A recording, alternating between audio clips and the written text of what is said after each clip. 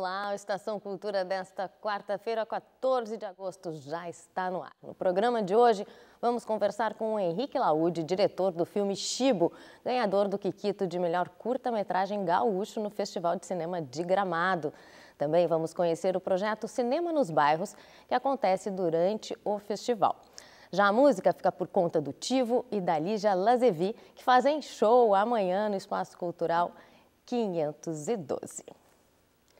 E uma família que vive às margens do Rio Uruguai, na fronteira entre o Brasil e a Argentina, e faz travessias clandestinas como forma de subsistência. Esse é o fio condutor da história de Chibo, filme vencedor do Prêmio Assembleia Legislativa de Curtas-Metragens Gaúchos. E aqui ao meu lado está o Henrique Laude, diretor do filme, junto com a Gabriela Poester. Seja muito bem-vinda, Henrique. A Gabriela que é tua parceira na direção, né? E ficou em Gramado. Oi, Paula, boa tarde. Obrigado pelas boas-vindas. Isso, a gente é um, uma dupla aí na direção e ela está por lá enquanto estou Podem se aqui. revezar, Exatamente. né? Amanhã ela está aqui, né, inclusive participando do nosso E amanhã debate. a gente reveza né, e ela que faz o debate. Exato. Que bacana. Conta um pouquinho da história de Chibo, né? E Chibo justamente é o nome de- dessa travessia, né? dessa atividade clandestina, né? Isso, Chibo para quem vive ali na fronteira, na costa do Rio Uruguai, entende né, como esse lugar da, da travessia clandestina de pessoas, de mercadorias. E esse é um pouco esse plano de fundo onde está estruturada essa família né, profissionalmente, nesse lugar eh, de fronteira. E a gente acompanha especificamente a Dani, que é a filha do meio dessa, dessa família de cinco filhos. E ela está nessa fase aí dos 16 anos, nessa ah, se formando no ensino médio e tem esse dilema, né, que eu acho que passa a todo mundo, né, universal nessa transição da adolescência para a fase adulta, né? Qual o futuro? O que que vem por aí? Então a gente está nessa nessa fase crítica todos nós e a gente fica um pouco acompanhando esses dias dela nessa nesse contexto aí de, de fronteira, de eh, enfim, de desafios que essa idade traz. A gente está acompanhando aí algumas imagens do filme, no iniciozinho justamente a travessia e um pouco da rotina, né? Do dia a dia da família, é isso? Isso, eles têm ali, ah, trabalham com essa, ah, as travessias, mas também nesse lugar de subsistência, né, de criação de animais, alguma coisa de, de plantação. Então esse é um pouco da, dessas três mulheres, na verdade, né, tem a, a Dai, que é a irmãzinha mais nova, e da Rose, que é a mãe. Então o filme foca principalmente nelas e dá voz a esses três personagens. E a produção é exclusivamente gaúcha, né? Conta pra gente um pouquinho de como é que se estruturou. Isso, o filme é um, tem uma estrutura mínima em termos de equipe, né? Ah, a gente gravou ao longo de dois meses, eu e a Gabriela, se revezando as funções de câmera, de áudio e tudo mais.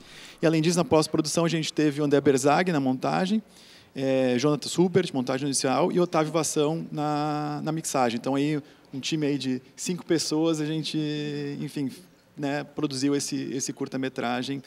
Em que é importante também ressaltar que ele faz parte né, de um projeto maior que a gente acompanhou ao longo dos últimos anos diferentes personagens nessa fronteira aqui do Rio Grande do Sul com missões e isso foi possível através do edital aqui do, da Secretaria de Estado da Cultura, o FAC Entre Fronteiras.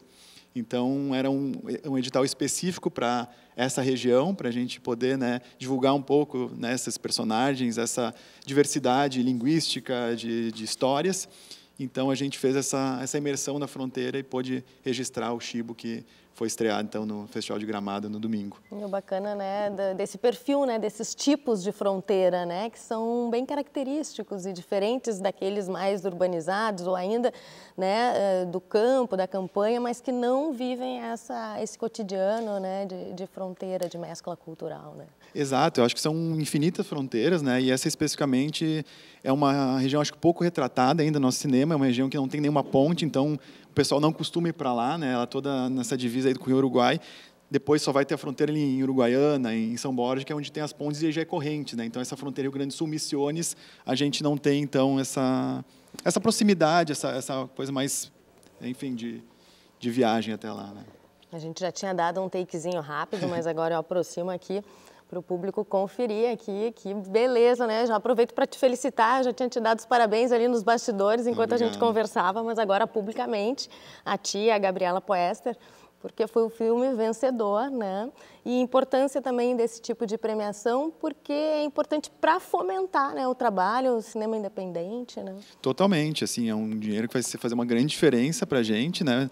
Enfim, é, incentivo a desenvolvimento de projetos. A gente também ganhou o prêmio da EBC, é, de licenciamento, então também o, fi, o, o, filme vai conseguir atingir um nível nacional né, de, de audiência, e isso nos deixa muito feliz, que a gente faz filme é realmente para ser visto, para ser debatido, então é muito assim, gratificante poder ganhar essa, essa dimensão através do festival, né, através dessas, desses prêmios, e, e é isso, a, a Dani, a Rose e a Daya ganhando o Brasil nessa, nesse destaque. E esse trabalho né, de direção duo, tu já tinha experimentado? A parceria com a Gabriela surgiu agora? Como é que acontece né, essa execução de um filme dirigido por dois diretores, né? Exato. Eu sempre costumo dividir as minhas direções. Eu acho que é um lugar que tem que gera muito crescimento assim de trocas é uma coisa que eu sinto muito conforto assim para estar nesse lugar de, de, de, visão.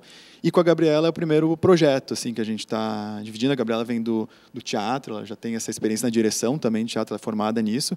Então acho que tem uh, muitas uh, complementaridades assim nesse lugar né, entre eu e ela. E a gente está já seguindo com outros projetos também dentro desse lugar da fronteira. A gente também está desenvolvendo um roteiro de longa-metragem que a gente também foi contemplado no edital é, e aí já é um, um, um, longa, né? Outro, outra estrutura. E isso, seguindo nesse, nessa trilha, nessa, nesse difícil percurso de cinema, né? Mas que, enfim, tem momentos muito gratificantes também. Que bacana. Parabéns mais uma vez. Fica o convite para as próximas novidades aí. Vem compartilhar com a gente, com os nossos telespectadores aqui. E só para dar um recado que hoje, né, agora meia-noite da, da, da quarta-feira, passa o, o Chibo.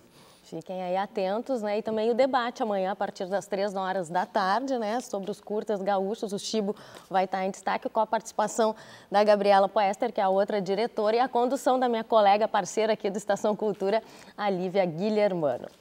Muito obrigada mais uma Obrigado. vez. Felicidades a toda a equipe. Chibo, ganhador de melhor filme na categoria curta-metragem gaúcho no Festival de Cinema de Gramado. Obrigada, sucesso. Obrigado. E agora temos a música do Tivo e da Lígia Lazevi, que fazem show amanhã no Espaço Cultural 512. Logo depois, a gente continua falando sobre o Festival de Cinema de Gramado. Agora a gente vai é de música, bora lá. Bora.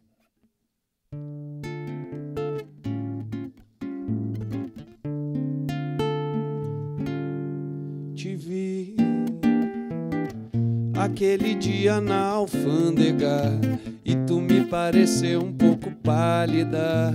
Olhou pra mim com uma cara de nádega. Fiquei ali parado, meio atônito. Virei uma cachaça só de pânico. Tudo à minha volta ficou trêmulo.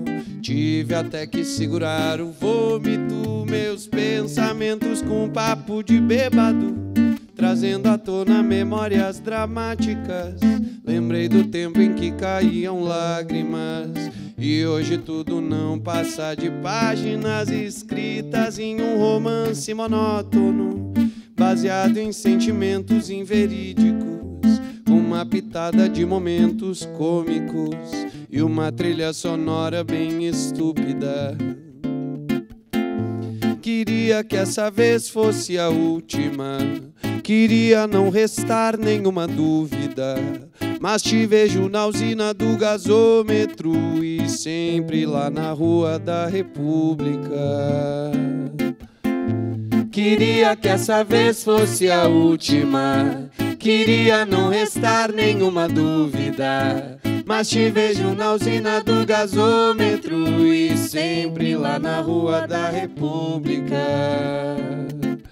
Ali, na correria do mercado público, eu e tua avó comprando dietéticos. Barato quilo do biodinâmico. Até bateu saudade dessa época. Dançando funk no ponto de ônibus. Fudendo dentro do banheiro químico. Um nojo e a gente achando o máximo. E hoje eu me sinto tão apático. Ainda que eu cante nesse tom nostálgico. Não resta nada senão mágoa e dívida e uma dor chata no nervo ciático. Queria que essa vez fosse a última. Queria não restar nenhuma dúvida.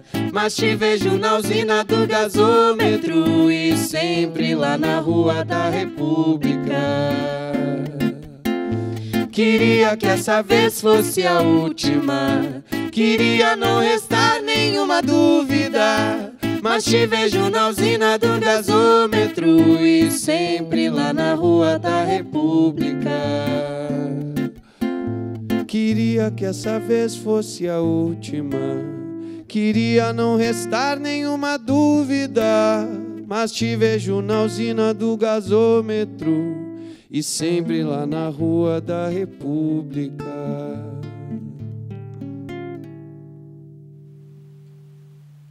Bacana, daqui a pouco tem mais música aqui na Estação Cultura. E um projeto está exibindo diversos curtas de animação com temáticas ambientais em sete sessões em escolas do município de Gramado, aproximando toda a cidade do festival. Confere aí na reportagem da Pati Salvadori.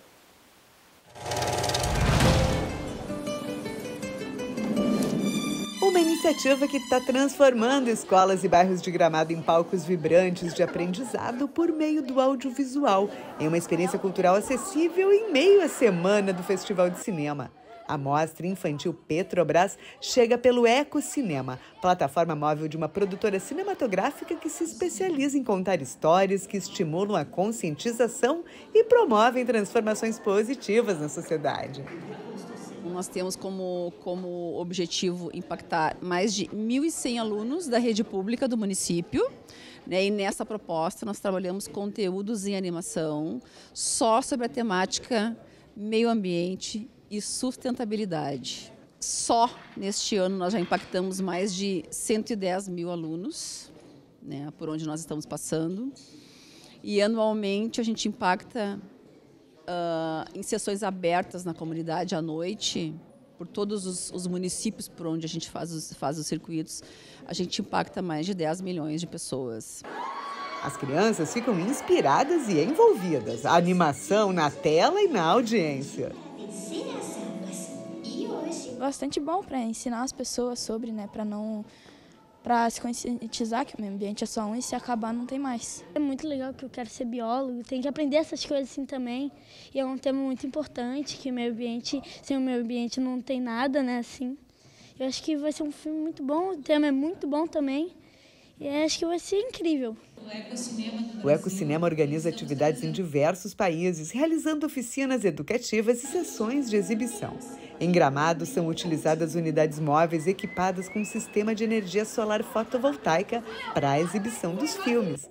Conhecidas como naves solares, essas unidades servem como um exemplo concreto do uso de energia renovável, promovendo o conhecimento entre a população. A gente explica para o aluno uh, como que ele como que ele assistiu aquela tela, da onde que saiu a energia que ele assistiu e todo o processo, né? E é fantástico, porque eles ficam ali dentro, assim, perguntam e perguntam e perguntam. E os professores também sempre estão junto. Então, para nós é muito gratificante, muito satisfatório quando a gente vê eles assistindo na tela de cinema, assim, bem quietinhos, olhando, assim, comendo a informação com o olho, né? Para nós, o nosso objetivo já está alcançado. E quando as crianças estiverem aparentemente falando sozinhas, não interrompa essa prosa. Nós estamos ajustando contas e tramando roteiros com o anjo da guarda. E se por Iniciativa bacana, hein? E agora tu fica sabendo quais são os filmes do dia nas mostras competitivas. De Aguareté, vos não está chegando a tu casa de mirar televisão. A transformação de Canuto de Ariel Quarai Ortega e Ernesto Carvalho é o longa gaúcho do dia. O enredo se desenvolve em uma pequena comunidade Mibiá-Guarani entre o Brasil e a Argentina, sobre a lenda da transformação de um homem em onça e os desdobramentos dessa história.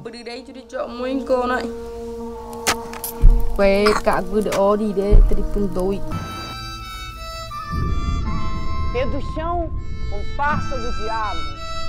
Na mostra de longas nacionais, dois filmes. Filhos do Mangue, filme estrelado por Felipe Camargo e dirigido por Eliane Café, traz um homem que aparece ferido e sem memória em uma comunidade ribeirinha. A população o acusa de roubo e um julgamento popular vem à tona numa trama que envolve desvio de verba pública, exploração da prostituição e violência doméstica. Maiana não quer ir. Você sabe se ela não quer? Ela, ela já falou pra você que. Desça! A memória. Tá... Você ouviu falar de uma barragem que estourou em Minas? Morava lá. Eita. O segundo longa nacional da noite é Cidade Campo, de Juliana Rojas, estrelado por Bruna Linsmaier, que traz duas histórias sobre migração. Na primeira parte, uma trabalhadora rural se muda para São Paulo para encontrar sua irmã. Na segunda, duas companheiras se mudam para a fazenda que uma delas herdou e elas passam a enfrentar frustrações e lidar com memórias. Estou te esperando faz tanto tempo. Vai. Nada aqui dá certo. Tudo tem cheiro, tem gosto de morte.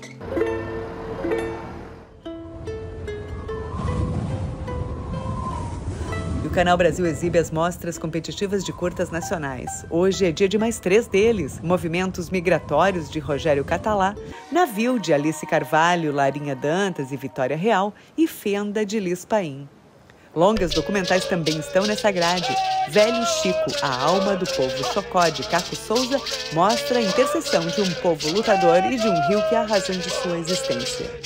Os índios têm a sua cultura própria, né? tem a sua religião, que é a cultura, né? e que jamais a gente abre mão. Né? Muita diversidade no Festival de Cinema de Gramado. A gente faz agora um pequeno intervalo, volta em seguida para conversar com o Tívio e com a Lígia Lazevi. É bem rapidinho, estamos de volta já já.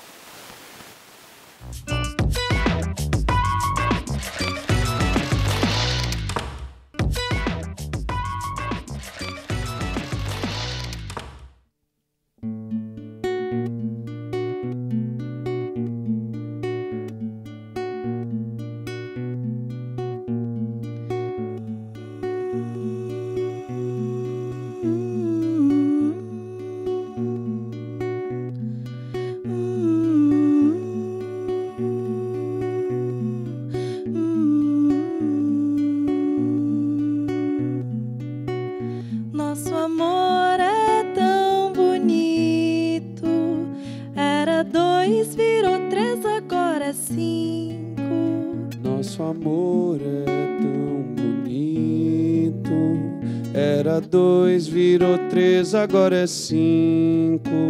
Nosso esquema é diferente. Não tem meia verdade, não entra aqui quem mente. É pra todo mundo, mas nem todo mundo entende. Até tem quem não gosta e que fala mal da gente. Mas só tá aqui quem quer e aqui quem ama tá contente. Se não te agradar, foi bom te ver que siga em frente. Nosso amor é tão bonito.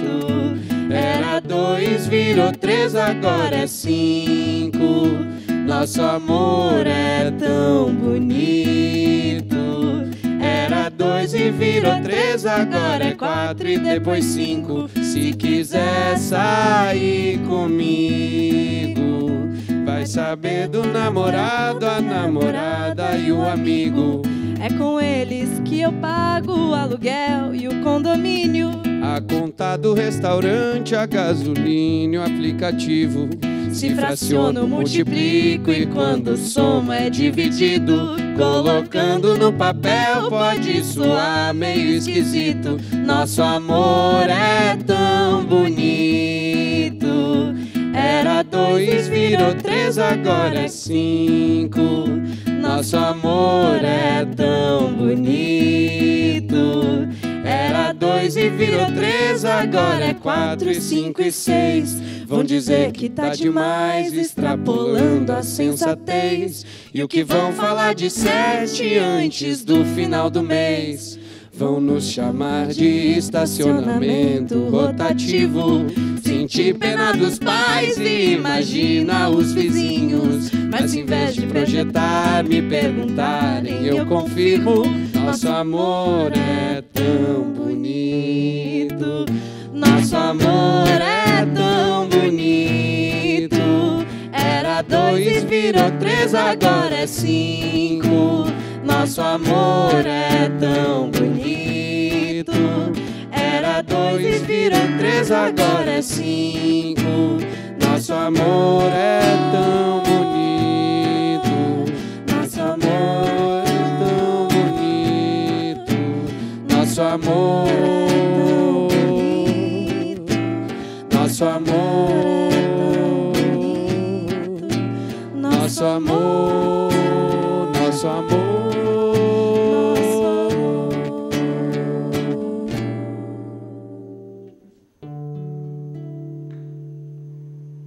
Tá muito bonito mesmo. Romance no Centro Histórico e outras boas ideias é o nome do espetáculo que o Tivo e a Lígia Lazevi apresentam amanhã no Espaço Cultural 512.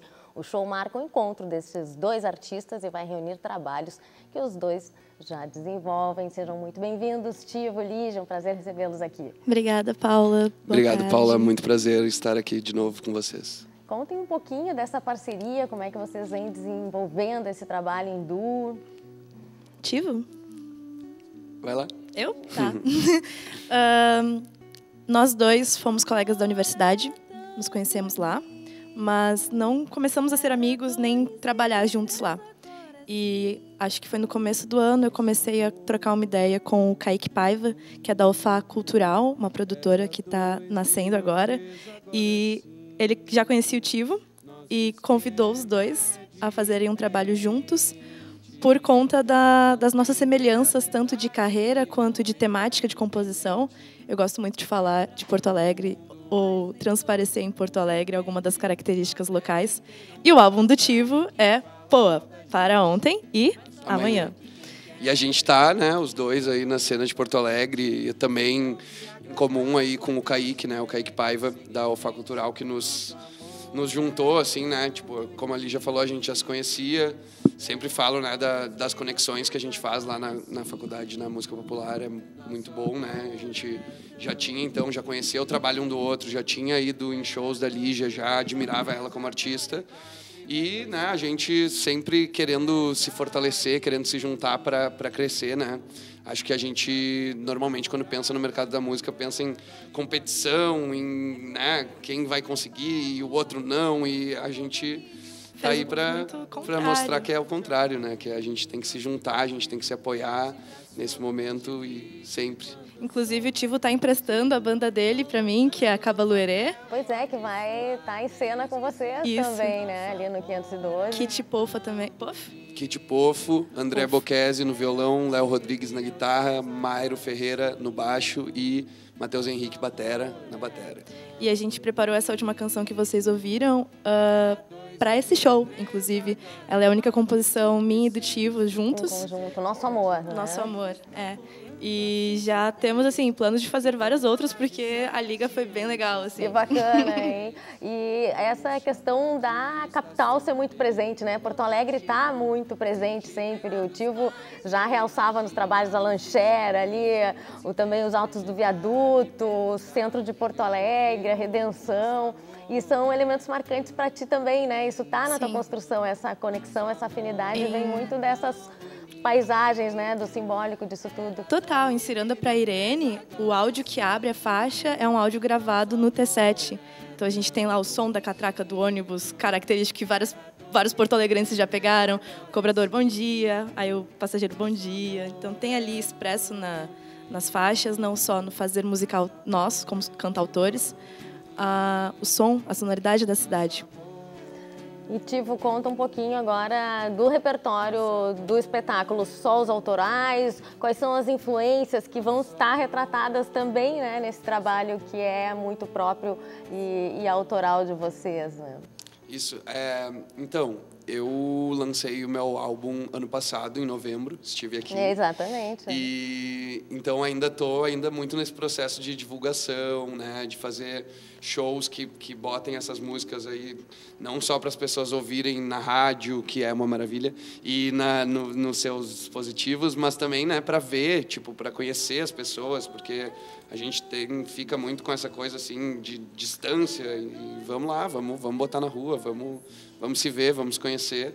Então ainda estou nesse processo de divulgação dessa música, dessas músicas, mas também com a Lígia, essa inédita que a gente fez, e tem uma também minha que não foi gravada, não está no álbum, mas tô, tô para gravar ela e vai ser a estreia dela também aí nesse show.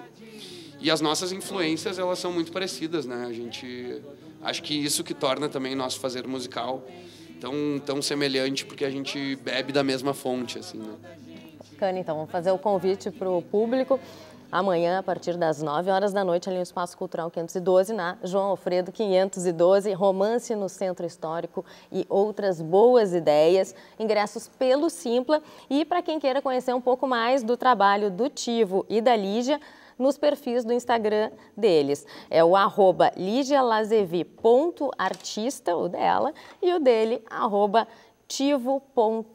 tivo.br. Gente, muito obrigada, sucesso no show. Estação Cultura desta quarta está terminando, lembrando que a nossa representação ao longo dessa semana é em horário especial, às nove e meia da noite. Também dá para conferir as edições passadas do Estação na página da TVE no YouTube. Nós vamos encerrar com mais uma música do Tivo e da Lígia Lazevi. Tchau, até amanhã ao vivo às duas da tarde. Ah.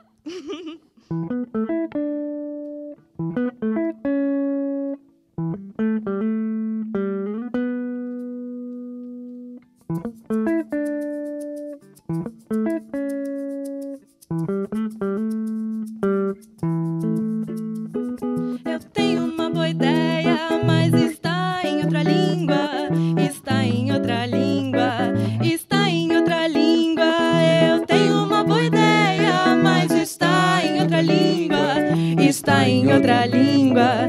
Está em outra língua. E essa ideia é meu maior desejo.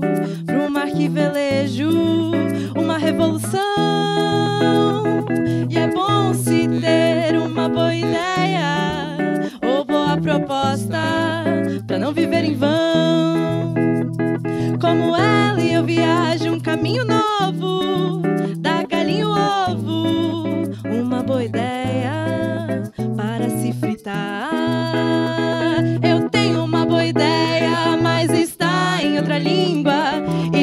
em outra língua, está em outra língua. Eu tenho uma boa ideia, mas está em outra língua, está em outra língua, está em outra língua. Dizem que devo tomar cuidado, como se fosse errado cantar ao vento o que foi revelado. Talvez o que me falte seja um bom vocabulário, um professor, um tradutor, um novo dicionário. Talvez amanhã eu não lembre, talvez ela me esqueça, ou alguém fique com ela grudada na cabeça. Eu tenho uma boa ideia, mas está em outra língua, está em outra língua, está em outra língua. Eu tenho uma boa ideia, Bíblia, mas está em outra língua, está em outra língua, está em outra língua. Tarakunderarunda, tarakunderarunda, para pará.